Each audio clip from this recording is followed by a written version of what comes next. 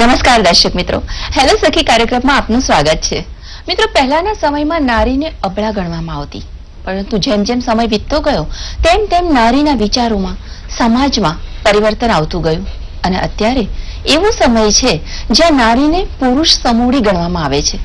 ખરેખર, આ ખૂબ જ ગૌરવની વાત છે. પરંતુ સાથે સાથે તેની સાથેના જોખમોમાં પણ વધારો થયો છે. આજે મહિલાઓ ઘરમાં, નોકરીના સ્થળે, જાહેર માર્ગ પર રેલવેમાં, બસમાં, એમ બધે જ હજુ પણ અસુરક્ષિત છે. ઘણી વખત એવા કિસ્સા બને છે, જે સાંભળીને આપણા રૂવાડા ઊભા થઈ જાય. પરંતુ આ બધા કૃત્યોને ડામવા રક્ષણ પણ છે જ. તેની જાગૃતિ કેળવવા માટે દરેક મહિલાએ મદદ લેવી જોઈએ, પોલીસ હાર્ટ હેલ્પલાઇનની. દર્શક મિત્રો, અને એ માટે આપણને માહિતી આપવા માટે આપની સાથે છે શ્રી રૂઝાન ખંભાતા, કે જેઓ પોલીસ હાર્ટલાઇનના સંશોધક છે. રૂઝાનજી આપનું ખૂબ ખૂબ સ્વાગત છે અમારા હેલો સખી કાર્યક્રમમાં. આજે આપણે વાત કરી રહ્યા છીએ પોલીસ હાર્ટલાઇનની. તો સૌપ્રથમ અમારા દર્શક મિત્રોને એ જણાવો કે આ પોલીસ હાર્ટલાઇન એ શું છે? Police heart. હાર્ટનો મતલબ દિલ અને બીજો મતલબ help emergency alert rescue terminal. અમે આ જે પોલીસ હાર્ટનું જે ટર્મિનલ છે, એ અમે અહીંયા શાહીબાગનો control room, police control room છે, ત્યાં મૂક્યું છે. હવે જ્યારે બી બહેનો તકલીફમાં ઇમરજન્સી સિચ્યુએશન જાણે કે rape molestation eve teasing domestic violence આવા બધા જ્યારે કેસીસ હોય છે, જ્યારે બેનને તાત્કાલિક હેલ્પ જોઈએ છે અને જ્યારે એ તાત્કાલિક હેલ્પ જોઈએ છે ને, એ જો, એ વખતે કંઈક ફોન પર બોલીને એવું નહીં કહી શકે કે મારું અહીંયા લોકેશન છે, તમે અહીંયા મને બચાવવા આવો, અહીંયા મને આ પ્રોબ્લેમ છે. એવી હેલ્પ અમે પોલીસ હાથથી પૂરી પાડીએ છીએ. અગર એ દસ એકાણું પર ફોન કરશે તો પોલીસ તરત એમને એમની આ ટેકનોલોજી જે અમે મૂકી છે એ ટેકનોલોજીથી એમને તરત લોકેશન શોધી અને હેલ્પ કરશે. જી અને અમારા દર્શક મિત્રોને એ પણ સમજાવો રુઝાનજી કે આ જે પોલીસ હાર્ટ હેલ્પલાઇન છે એનું કાર્ય શું છે? ઓકે હવે માની લો કે હું અત્યારે કોઈ ઇમરજન્સી કોઈ મને હેરાન કરી રહ્યું છે અને મારે તરત પોલીસની હેલ્પ જોઈએ છે, તો હું મારા મોબાઈલમાં, આ મોબાઈલથી આ ટોલ ફ્રી નંબર છે, દસ એકાણું ટોલ ફ્રી નંબર છે અને ઇમરજન્સી નંબર છે. ટોલ ફ્રી એટલે તમારે બેલેન્સ ના હોય, તો એ ચિંતા નહીં કરવાની, કારણ કે એમાં પૈસા નથી લાગતા ફોન કરવાના. અને ઇમરજન્સીનો નંબરનો મતલબ કે અગર તમારા મોબાઈલ લોક હોય, તો બી આ નંબર ડાયલ થઈ શકશે. હવે તમારા દસ એકાણું યા સ્પીડ ડાયલ કીમાં તમારા મોબાઈલમાં મૂકી શકો. સ્પીડ ડાયલ કી એટલે એક ફંક્શન આવે છે કે ખાલી એક જ બટન દબાવો, જેને કે પેનિક બટન એક બટન દબાવો અને તમારો મોબાઈલ ડાયલ થઈ જાય નંબર એવી રીતે સ્પીડ ડાયલ કીમાં મૂકો અને નંબર ડાયલ કરો. જેવો નંબર ડાયલ થશે એટલે તમારે ફોનને કાન પર મૂકીને હેલો કરવાની જરૂર નથી, વાત કરવાની જરૂર નથી, કશી જ જરૂર નથી. ખાલી નંબર ડાયલ કરી અને તમે ફોન ગજવામાં મૂકી દેજો. તો પોલીસનું જે હાર્ટનું સર્વર છે, પોલીસ કંટ્રોલ રૂમમાં એ તમારો ફોન પિકઅપ કરી લેશે. ફોન પિકઅપ સાથે સાથે તમારું રેકોર્ડિંગ ચાલુ થઈ જશે. અને હવે જે પોલીસ કંટ્રોલના ઓપરેટરો બેઠા છે, એ ફોન એ લોકોને કમ્પ્યુટર સ્ક્રીન પર તમારી ડિટેલ્સ આવશે. તમારો મોબાઈલ નંબર આવશે તમારો લેન્ડલાઇન નંબર આવશે. તમારું જે સિમમાં તમારે જે એડ્રેસ રજિસ્ટર કર્યું છે, જે નામ રજિસ્ટર કર્યું છે, એ બધું આવી જશે. હવે પોલીસ તમારી જોડે વાત કરવાની કોશિશ કરે છે. પણ તમે તો વાત નથી કરી શકતા. તમે તો ચાલુ ફોન ગજવામાં મૂકી દીધો છે. પણ જ્યારે તમે ગજવામાં ચાલુ ફોન મૂકો, ત્યારે સામેવાળા જોડે તમે બૂમાબૂમ કરજો. છોડી દો મને, શું કરો છો? જેટલું વધારે તમે બૂમ પાડશો, એટલું પોલીસવાળાને ખબર પડશે કે તમે ઇમરજન્સી સિચ્યુએશનમાં છો. તમને જલ્દી ઇમરજન્સી હેલ્પ જોઈએ છે. એટલે પોલીસવાળા લોકેશન મંગાવશે. હવે લોકેશન આવતા અરે આઠથી દસ મિનિટ લાગશે, કારણ કે આ સેલ ટાવરનું લોકેશન આવે છે. અને અત્યારે અમે એને ટોટલ ઓટોમેશન નથી કરી શક્યા, કારણ કે એક ટેલિકોમ રેગ્યુલરના જે રૂલ્સ છે એ પ્રમાણે ટોટલ ઓટોમેશન ના થાય, પણ એટલે દસ મિનિટ લાગશે.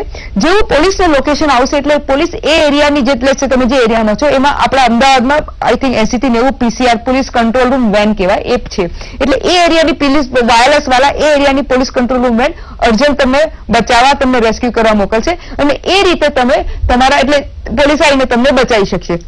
આ એક રીત કરવાની છે.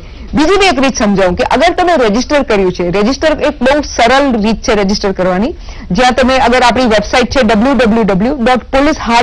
કોમ એ વેબસાઇટ પર તમે રજિસ્ટર કરી શકો છો. બીજું કે તમે અમદાવાદમાં કોઈ બી પોલીસ સ્ટેશન પર જઈને ફોર્મ માંગશો તો લોકો તમને ફોર્મ આપશે. ને ત્રીજું તમે એસએમએસથી બી રજિસ્ટર કરી શકો છો. એસએમએસ નો નંબર બી હું આપું છું nine double two seven one two one zero nine one આ નંબર પર ખાલી હાર્ટ લખીને બી મોકલશો તો તમે રજિસ્ટર થઈ જશો. રજિસ્ટર કેમ કરવાનું? કારણ કે અગર તમે લેટસે તમે તકલીફમાં છો. જ્યારે બી તમે તકલીફમાં હશો, તો તમે જ્યારે રજિસ્ટર કરશો, તમે તમારું નામ એડ્રેસ લખશો. પણ જોડે જોડે તમે તમારા ફ્રેન્ડ રિલેટિવ જેને મેમ કહે ને તમારા તમારું જે નેટવર્ક હોય જેને કે પપ્પા, મમ્મી, ભાઈ, ભાભી ફ્રેન્ડ જે બધાના નેટવર્કમાં તમે નામ લખો કે અમારા પપ્પા છે, એમનો મોબાઈલ નંબર આ છે. અમારા મમ્મી છે, એમનો મોબાઈલ નંબર આ છે. એટલે એનાથી શું ફાયદો થશે? કે ફરીથી આપણે અગર લેટસે પાછું કરીએ કે તમે બટન દબાયું, તો પોલીસ સામે જ્યારે તમારું નામ આવે છે ને, તો જોડે જોડે તમારા પપ્પા મમ્મીના આખું રિલેટિવનું નેટવર્ક ખુલશે. હવે એ નેટવર્ક ખુલશે એટલે પોલીસને ખબર પડશે, ઓકે, આ બેનના પપ્પા, મમ્મી આ છે. એટલે જેટલી વાર લોકેશન આવતા લાગશે, એટલી વાર પોલીસ એ લોકોને ફોન કરીને પૂછે કે, ક્યાં છે તમારી દીકરી? અને એટલી વારમાં જ્યારે લોકેશન આવે છે, એટલી વારમાં પપ્પા મમ્મીને એસએમએસ બી ચાલી ગયો, એ નેટવર્કને એસએમએસ બી ચાલી ગયો કે, તમે તકલીફમાં છો. એટલે એ લોકોને બી ખબર પડી, તમે તકલીફમાં છો? પોલીસવાળાએ ફોન કર્યું કે, ક્યાં છે? એટલે કહેશે કે, ભાઈ જોબ પર ગઈ છે પિક્ચરમાં ગઈ છે સ્કૂલે ગઈ છે. જે બી એ લોકો કહેશે એટલે હવે ઇમ્પોર્ટન્ટ ચીજ કે પપ્પા, મમ્મી અને પોલીસવાલા એ લોકો કોન્ટેક્ટમાં આવી ગયા. એટલે જેવું લોકેશન આવશે એટલે ઓટોમેટિક પપ્પા, મમ્મી એવી લોકેશન જશે. જેવું એ લોકોને લોકેશન જશે, પોલીસને મળશે, એટલે બધા દોડશે તમને બચાવવા. ને આનાથી ફાયદો છે કે જે રિસ્પોન્સ ટાઈમ અમે કહીએ, તમને બચાવવાનો જે ટાઈમ કે, એ ઘટી જાય. ઘટી એટલે જાય કારણ કે પપ્પા, મમ્મી બી દોડ્યા, પોલીસ બી દોડી. પોલીસે કોઈ દિવસ તમને જોયા નથી, પણ પપ્પા, મમ્મી તમારો ફોટો લઈને આવશે, તમારો સગા સંબંધીવાલા બધા આવી પહોંચી જશે. એટલા માટે આખો રિસ્પોન્સ ટાઈમ ઘટી જશે અને તમને હજી જલ્દીથી અમે બચાવી શકશો.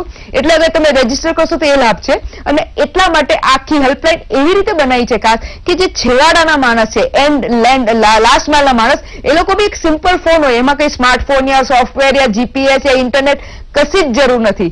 જે છેવાડાના માણસ છે એ લોકો પોતાના સિમ્પલ એક સસ્તા ફોન પરથી બી ફોન કરી શકે છે.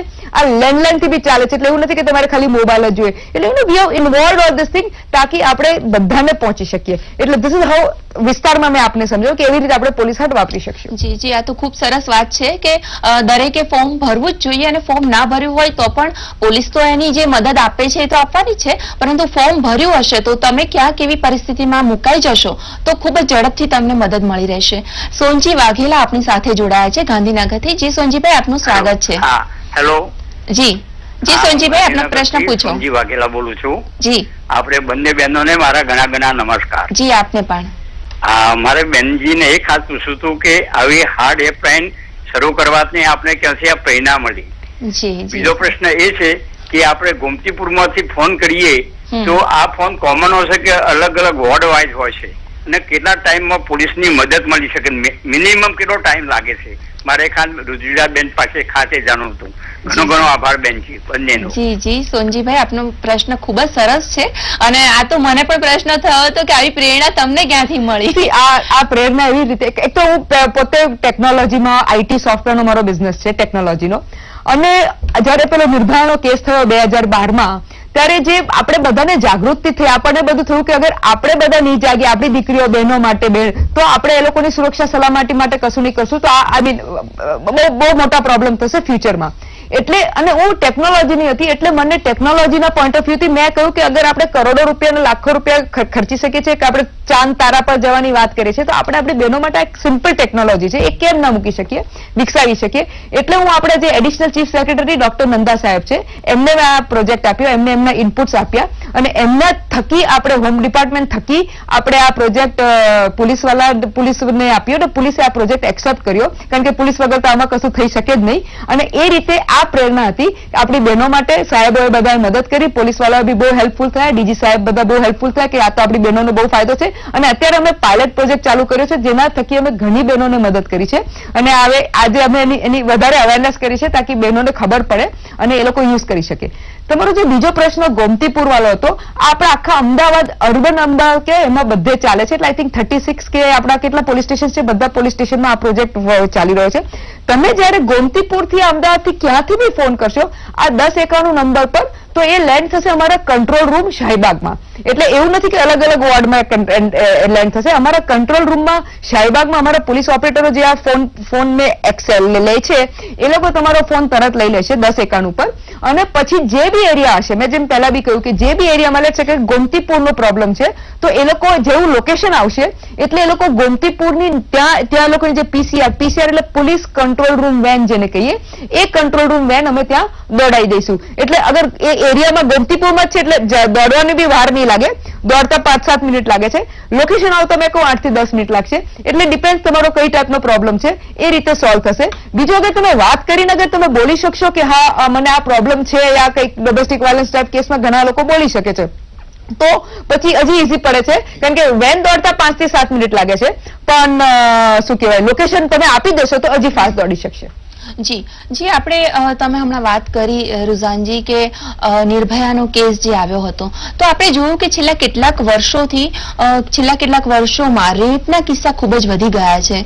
તો આપ શું માનો છો? કયા કયા કારણો જવાબદાર છે સૌથી પહેલા મારું એવું માનવું છે કે રેપના કિસ્સા હતા પહેલાથી હતા.